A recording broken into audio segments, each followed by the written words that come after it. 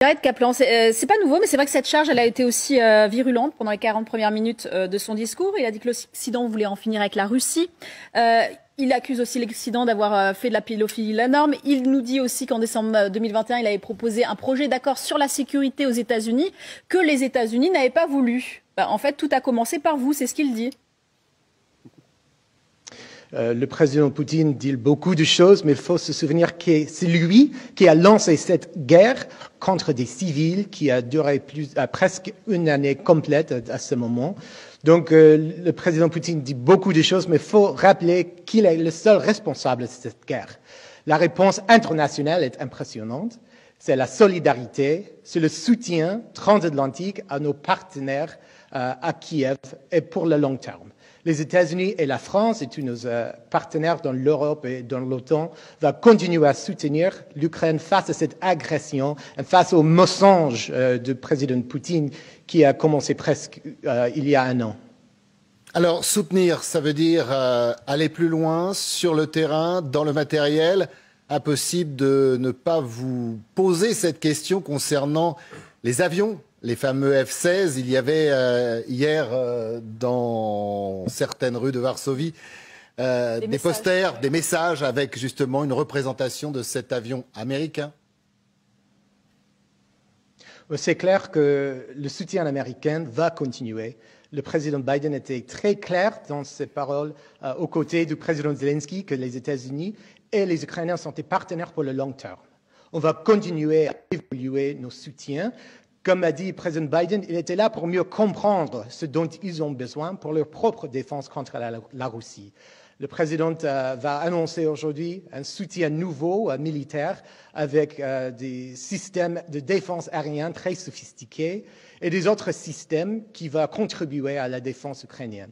Donc, je vais laisser au président des États-Unis annoncer un nouveau soutien spécifique, mais on va anticiper qu'aujourd'hui, le président Biden à Varsovie va continuer à faire un message de, soutien euh, sans arrêt aux Ukrainiens.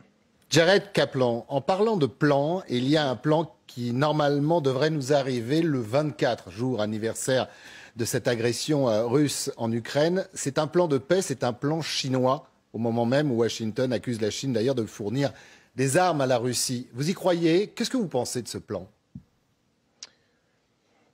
Le secrétaire euh, Blinken a eu l'occasion de parler avec son homologue chinois à Munich euh, la semaine euh, dernière et il a souligné ce que le président Biden a dit plusieurs fois, et c'est qu'un effort de part des, Chinois à fournir ou envoyer des soutiens létals à Moscou peut avoir une graves conséquences sur la relation bilatérale entre les États-Unis et la Chine.